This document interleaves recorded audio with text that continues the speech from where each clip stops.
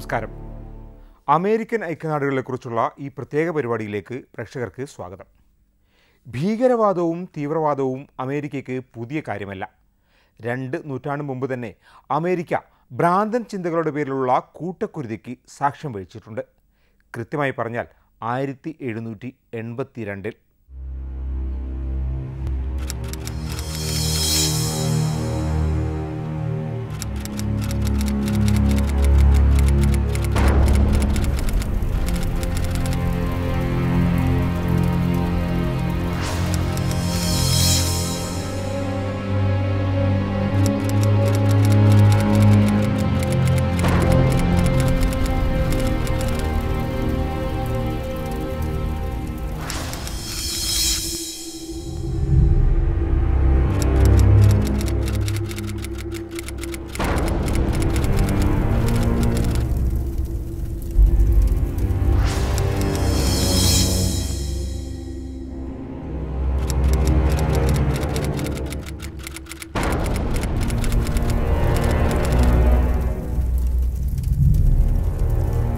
കഴിഞ്ഞ നാൽപ്പത്തിയേഴ് വർഷത്തിനിടെ അമേരിക്കൻ ഐക്യനാടുകളിൽ ഉണ്ടായത് രണ്ടായിരത്തി എഴുന്നൂറ്റി ഇരുപത്തിയെട്ട് തീവ്രവാദി ആക്രമണങ്ങളാണ്.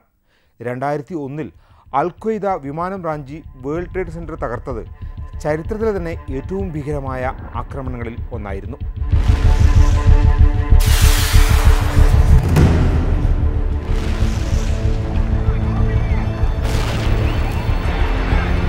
ഡിസംബർ രണ്ടാം വാരം ന്യൂയോർക്കിലായിരുന്നു ഏറ്റവും ഒടുവിൽ ചാവേർ തീവ്രവാദിയുടെ ആക്രമണം.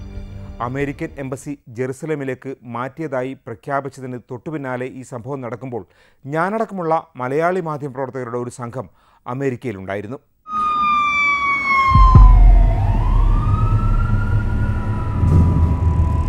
എയർപോർട്ടുകളിലും സർക്കാർ സ്ഥാപനങ്ങളിലും പൊതുയിടങ്ങളിലും ഏറ്റവും ശക്തമായ സുരക്ഷാ പരിശോധന നടക്കുന്ന രാജ്യമാണ് അമേരിക്ക.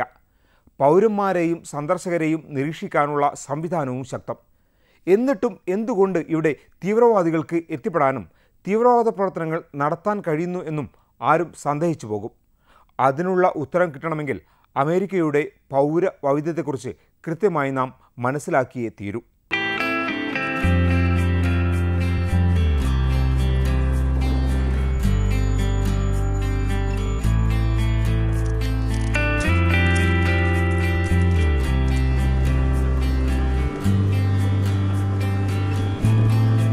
മിനിയാപോളിസ് ശീതനഗരം. ശിശിരകാലങ്ങളിൽ ഇവിടെ താപനില മൈനസ് പതിനേഴ് ഡിഗ്രി വരെ താഴാറുണ്ട് വർഷത്തിൽ ആറുമാസം നല്ല തണുപ്പാണ്. തെരുവിലൂടെ ശീതക്കാറ്റേറ്റ് നടക്കാൻ പ്രയാസം. എല്ലാ കെട്ടിടങ്ങളെയും തമ്മിൽ ബന്ധിപ്പിക്കുന്ന ആകാശ നടപ്പാതകൾ ഈ പ്രതിസന്ധിക്ക് പരിഹാരമാകുന്നു.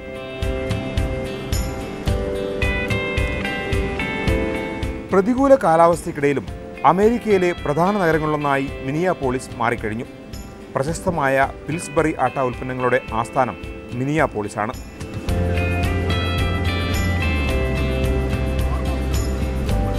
നാല് ലക്ഷമാണ് മിനിയാപോളിസിലെ ജനസംഖ്യ. ഇതിൽ മുപ്പത്തിരണ്ടായിരത്തിലേറെ പേർ സോമാലിയൻ വംശജരാണ്. കഴിഞ്ഞ മുപ്പത് വർഷത്തിനിടെ അമേരിക്കയിലേക്ക് കുടിയേറിയവരാണ് ഇവരിൽ ഏറിയ പങ്കും. ഐ എസും സോമാലി കേന്ദ്രീകരിച്ച് പ്രവർത്തിക്കുന്ന അൽ ഷബാബും അമേരിക്കയിലെ സോമാലിയൻ വംശജരെ കൂടി ഭീകരപ്രവർത്തനത്തിൽ കണ്ണികളാക്കാനുള്ള നീക്കം തുടങ്ങിയതോടെ കരുതലോടെയാണ് ഈ സമൂഹം നീങ്ങുന്നത്.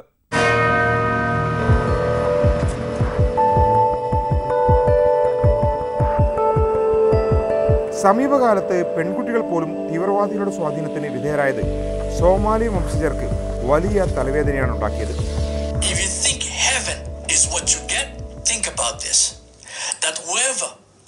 Kills a soul, unless for a soul or for corruption, Ohio State സർവകലാശാലയിൽ സോമാലി വംശജനായ ഒരു യുവാവ് നടത്തിയ ആക്രമണം ഏറെ ചർച്ച ചെയ്യപ്പെട്ടു. ഒട്ടേറെ പേർക്ക് പരിക്കേറ്റിരുന്നു ഈ ആക്രമണത്തിൽ ഇത്തരം സംഭവങ്ങളാണ് മുഹമ്മദ് അഹമ്മദിനെ പോലുള്ള പുതിയ തലമുറയിലെ ചെറുപ്പക്കാർ സൈബർ ബോധവൽക്കരണവുമായി മുന്നിട്ടിറങ്ങാൻ കാരണമായത് spoken to kids when they were 12. two ways. We do online, which is through social media, Facebook, Twitter, and YouTube. And the second one we use offline, which is basically we go out and we speak to the kids directly. Uh, kids between the age of 8 and 16, that's who we're targeting.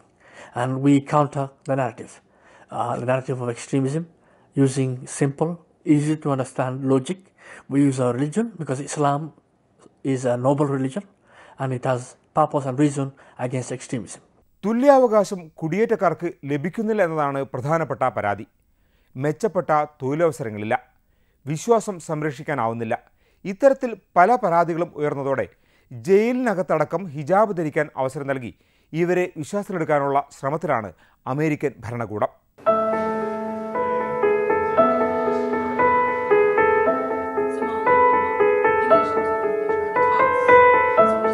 അബ്ദി Muhammad മിനിയാപോളിസിലെ Somalian വംശജരുടെ ഇടയിൽ പോലീസിന്റെ സന്നദ്ധ പ്രവർത്തനങ്ങൾക്ക് നേതൃത്വം നൽകുന്നത് ഏതാനും വർഷം മുമ്പ് മാത്രം അമേരിക്കയിലേക്ക് കുടിയേറിയ അബ്ദിയാണ്. The beginning was a little bit, uh, they thought I was FBI agent, so it was a little bit suspicion because as the sheriff said, back home government, especially law enforcement, are not friendly with the people. But I invite them and teach them and show them what I do. Because of that, it was make easier for me to talk to them, to educate them, imams, uh, academics, elected officials within the community, mothers, and, and now we have, we come way to see if somebody doing something wrong, the parents or the community can report that to the law enforcement because the education we provide them. Our keynote speakers was Demo Seno, whose son was among nine Minnesotans recently convicted on terror-related charges in federal court. I think the, the keen targeting area are young people. When I say young people, I mean, you know, it could be anywhere from 14, 15 years old up to the late 20s, early 30s. I think by the time you get past that age, you've kind of outgrown, uh, you know, that form of radicalization or ideology because you have enough life experiences to rely on.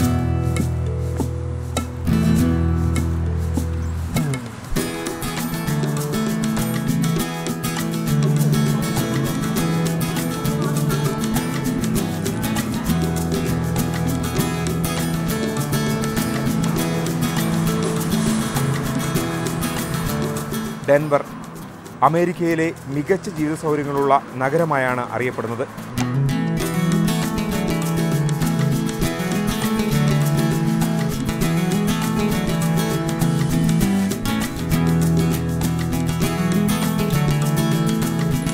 മനോഹരമായ മലനിരകളാണ് ഡെൻവറിന്റെ പ്രത്യേകത.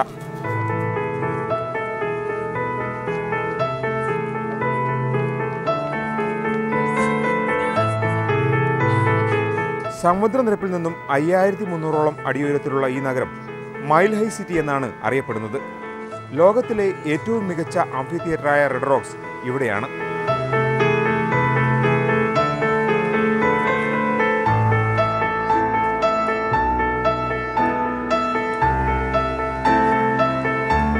അമേരിക്കയിൽ കാര്യമായ തീവ്രവാദ പ്രവർത്തനങ്ങൾ നടക്കുന്ന ഹോട്ട്സ്പോട്ടുകളിൽ ഒന്നായി സമീപകാലത്ത് ഡെൻവറും ഇടം പിടിച്ചു. പല കാരണങ്ങളാൽ. ഡെൻവറും കൊളറാഡോവുമായിരുന്നു ഒരു കാലത്ത് അൽഖ്വയ്ദയുടെ തലച്ചോറായിരുന്ന അൻവർ അൽ ഔലാക്കിയുടെ കേന്ദ്രം. ഒരു അമേരിക്കൻ പൗരൻ തന്നെ അൽഖ്വയ്ദയുടെ തലപ്പത്തെത്തിയത് യു എസ് ഭരണകൂടത്തിന് വലിയ തലവേദനയായിരുന്നു.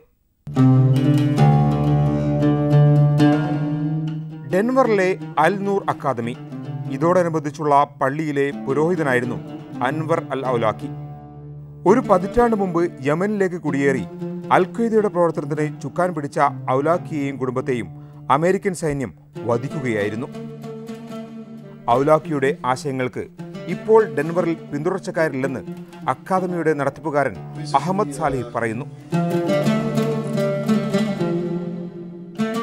Well, here it's completely different. This is a diverse country. It's a country that built on immigrants. What I call it actually the, the root causes of the problem of extremism when it comes to a group like ISIL Qaeda. Who created these groups? What are the factors that created these groups? We speak about this, by the way. A lot of people they don't think like, oh, Muslims like in America they really, you know, uh, being modernized by American society and now they. No, no, no, no. That's not true. I was in, in, in a very, very, very, very important conference in Washington D.C. And I talked about the grievances in the Middle East that include the Muslim Brotherhood in Egypt, the jails, the Rab'a massacre that happened by General Sisi, how these grievances in the Middle East really fuel the ideology of uh, extremism uh, of ISIL and Qaeda. You know, uh, the invasion of Iraq, these kind of things. So we have years in the government that listen to us. Actually, they have people who work full time jobs that this is their job. To find out the root causes of the problems of extremism. So it's not something that you like maybe you hear in the media, especially international media. Oh, you know, so America caused all this trouble from ISIS Al Qaeda, and now they're gonna blame Islam. No, no, this is not true. This is not happening. We know exactly what the problem is. We know that there was actually uh, uh, wrong decisions, political decisions, definitely. Uh, not only America participated in that, even the Middle Eastern countries, like Gulf countries, for example, they participated in invasion of Iraq. They participated in Kuwait war, you know, and uh, they were part of this. അമേരിക്കയിലെ തീവ്രവാദം ഇസ്ലാമിക തീവ്രവാദ പ്രവർത്തനം മാത്രമാണ് എന്നത് ഒരു തെറ്റിദ്ധാരണയാണ് രണ്ടായിരത്തി എട്ട് മുതലുള്ള കണക്കുകൾ പരിശോധിച്ചാൽ അത് മനസ്സിലാകും രണ്ടായിരത്തി എട്ട് രണ്ടായിരത്തി പതിനേഴ് കാലഘട്ടത്തിൽ മുസ്ലിം തീവ്രവാദികൾ ഉൾപ്പെട്ട അറുപത്തിമൂന്ന് അനിഷ്ട സംഭവങ്ങളാണ് അമേരിക്കയിൽ ഉണ്ടായത് എന്നാൽ നിയോ നാസികളും സോവറിൻ സിറ്റിസൺസ് എന്നറിയപ്പെടുന്ന വെള്ളക്കാരായ വംശീയവാദികളും ചേർന്ന് നൂറ്റി പതിനഞ്ച് തീവ്രവാദി ആക്രമണങ്ങൾ അമേരിക്കയിൽ ഇക്കാലയളവിൽ നടത്തിയിട്ടുണ്ട്. ഈ സംഭവങ്ങളിൽ എഴുപത്തി ഒൻപത് പേരാണ് മരിച്ചത്. Um, marketers of extreme ideology in the world right now are ISIS and neo Nazis. And they have very sophisticated and very similar techniques. Two sides of two sides of the same coin. Yep.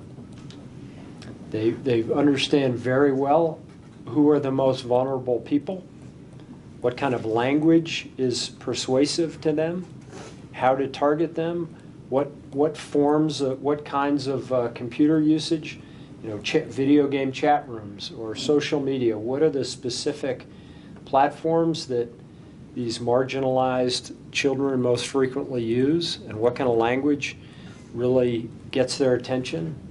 And they specifically target those people. Osama bin ലാദനെ വധിച്ചത് Obama white ഹൗസിൽ അധികാരം കൈയാളിയപ്പോഴാണ് അൻവർ അൽ ഔലാഖിയെ വധിച്ചതും ഒബാമയുടെ കാലത്ത് തന്നെ ഇറാഖിലും യമനിലും പലസ്തീനിലുമൊക്കെ കണ്ട മുഖമായിരുന്നില്ല പക്ഷേ ഒബാമയ്ക്ക് അമേരിക്കയിലെ ന്യൂനപക്ഷങ്ങൾക്കിടയിൽ ഉണ്ടായിരുന്നത് ഒബാമയുടെ കാലത്താണ് തീവ്രവാദത്തെ പ്രതിരോധിക്കാൻ ന്യൂനപക്ഷങ്ങളെ വിശ്വാസത്തിലെടുക്കാനുള്ള പദ്ധതികൾ നടപ്പാക്കിയത്.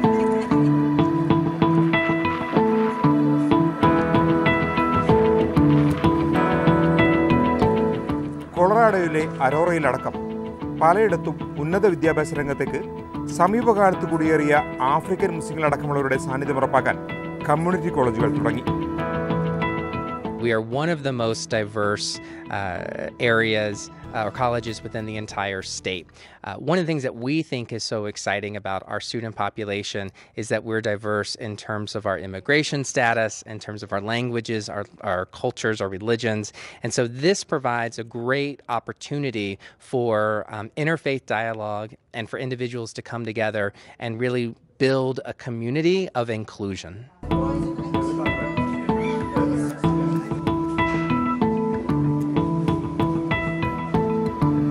We had students um, from Peru, from Israel, from Sudan, Somalia, the Democratic Republic of the Congo, um, and we were able to have all of those students participate in a um, in a program that really allowed them to capture their ethnic identity uh, and to celebrate that, but also to become inclusive into American culture.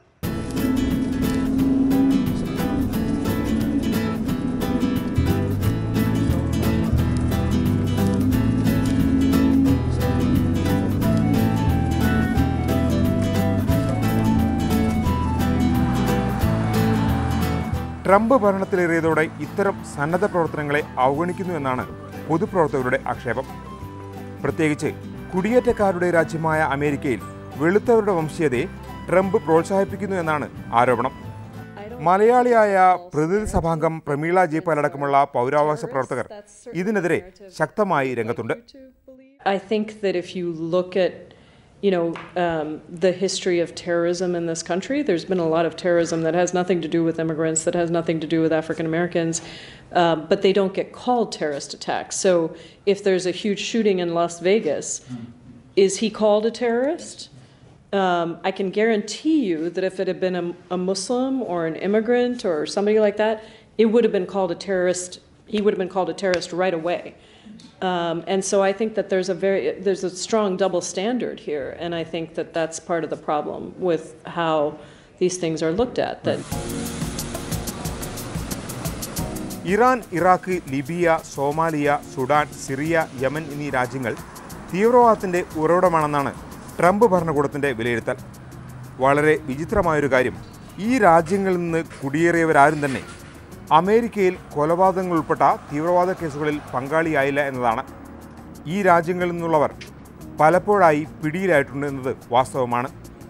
മൂവായിരത്തോളം പേർ കൊല്ലപ്പെട്ട world trade centre ആക്രമണം നടത്തിയവരിൽ പതിനഞ്ച് പേർ Saudi അറേബ്യക്കാരായിരുന്നു. Saudi Arabia ഇപ്പോഴും അമേരിക്കയുടെ ശക്തനായ ചങ്ങാതിയായി തുടരുന്നു. സർക്കാരിന്റെ നയങ്ങളെ തുറന്നുകാട്ടുന്ന സന്നദ്ധ സംഘടനകളും ഗവേഷണ സ്ഥാപനങ്ങളും ഇവിടെ നിരവധിയുണ്ട്. ഇവരുടെ പഠനങ്ങൾ പലതും സർക്കാരിനെ അവരുടെ മുൻധാരണകൾ മാറ്റാൻ പ്രേരിപ്പിക്കുന്നുമുണ്ട്. പാകിസ്ഥാനിൽ വേരുകളുള്ള മദീഹ അഫ്സൽ എന്ന ഗവേഷക അമേരിക്കയിലെ പുതിയ പ്രവണതകളെക്കുറിച്ച് ചില നിരീക്ഷണങ്ങൾ അവതരിപ്പിക്കുന്നു. You know sitting sitting at home and can use things that are easily available trucks guns knives to actually conduct an attack.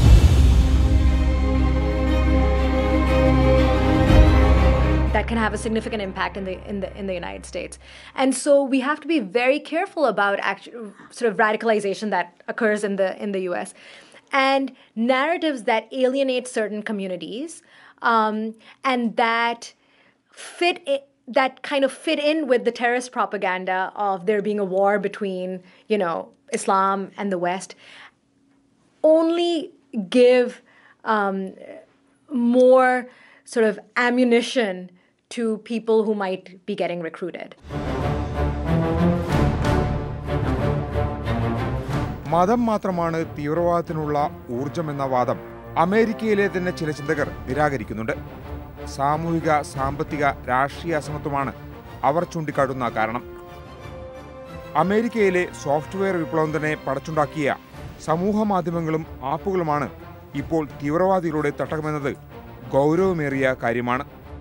പോലീസിന്റെയും സൈന്യത്തിന്റെയും നിലപാടുകളും പലപ്പോഴും തർക്കവിഷയമാകാറുണ്ട്. ഇത്തരം പ്രവണതകളിൽ നിന്ന് പാഠങ്ങൾ ഉൾക്കൊള്ളാനുള്ള ശ്രമമാണ് അമേരിക്കൻ സർക്കാർ ഇപ്പോൾ നടത്തുന്നത്.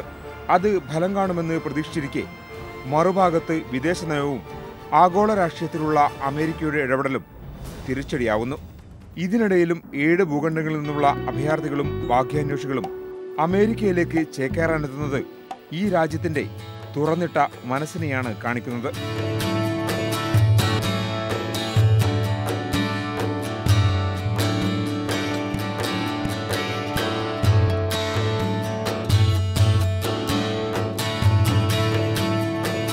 വലതുപക്ഷ തീവ്രവാദികൾ ആയിരത്തി തൊള്ളായിരത്തി തൊണ്ണൂറ്റി അഞ്ച് മുതൽ തൊള്ളായിരത്തി എൺപത്തിയൊന്ന് പേരെ വ്യത്യസ്ത സംഭവങ്ങളിലായി അമേരിക്കയിൽ കൊല ചെയ്തിട്ടുണ്ട്. തുറന്നിട്ട വാതിലിലൂടെ കടന്നുവരുന്ന അഭയാർത്ഥികളിൽ വളരെ കുറച്ചു പേർ മാത്രമേ ഇസ്ലാമിക തീവ്രവാദത്തിൽ ആകർഷകരായിട്ടുള്ളൂ എന്നുള്ളത് അമേരിക്കയെ സംബന്ധിച്ചിടത്തോളം ആശ്വാസ്യമായ ഒരു കാര്യമാണ്. ഇസ്ലാമിക തീവ്രവാദത്തിന്റെ വ്യാപനം ഇന്റർനെറ്റിലൂടെയും മറ്റും എഫ് ബി ഐയും സി ഐ എയും നിരീക്ഷിക്കുന്നുണ്ട്. പക്ഷേ സോവറിൻ സിറ്റിസൻസിനെ പോലെയുള്ള വലതുപക്ഷ തീവ്രവാദികൾ അതീവ രഹസ്യമായാണ് പ്രവർത്തിക്കുന്നത്. എഴുപതുകളിൽ സജീവമായിരുന്ന എഫ് എൽ എൻ പോലുള്ള ഇടതു തീവ്രവാദ സംഘടനകൾ ഇന്ന് അമേരിക്കയിൽ സജീവമല്ല. അത് ആശ്വാസകരമായ കാര്യമാണ്. പക്ഷേ മാനസിക ഭ്രംശമുള്ള വ്യക്തികളും മറ്റും നടന്ന വെടിവെപ്പുകൾ അമേരിക്കയുടെ ഉറക്കം കെടുത്തുന്നുണ്ട്. പലപ്പോഴും സ്കൂളുകളിലും സൂപ്പർ മാർക്കറ്റുകളിലും പൊതുയിടങ്ങളിലും കയറിയാണ് അക്രമികൾ ഇത്തരം വെടിവെപ്പുകൾ നടത്താറുള്ളത്. ഓടി വരുന്ന ട്രക്കുകൾ ഏത് നിമിഷവും ആൾക്കൂട്ടത്തിന് നേരെ ഇടിച്ചു കയറ്റിയേക്കാമെന്ന ആശങ്കയുമുണ്ട്. അത്തരം ആശങ്കകൾക്കിടയിലിരുന്നാണ് ലോകത്തിലെ ഏറ്റവും പഴക്കമേറിയ ജനാധിപത്യ രാജ്യം സമാധാനത്തെക്കുറിച്ചും ശാന്തിയെക്കുറിച്ചുമുള്ള സ്വപ്നങ്ങൾ പങ്കുവെക്കുന്നത്. ഈ പരിപാടി ഇവിടെ അവസാനിക്കുന്നു. നന്ദി നമസ്കാരം.